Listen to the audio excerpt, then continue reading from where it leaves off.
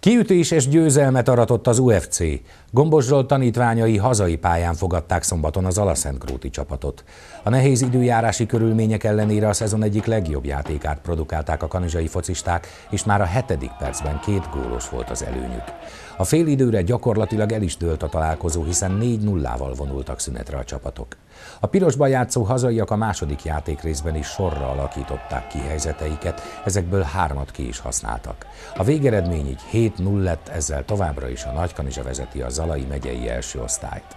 A hazai szurkolóknak külön öröm volt, hogy a sokáig elhúzódó válsérülése után ismét pályára léphetett az UFC csapatkapitánya Márton András.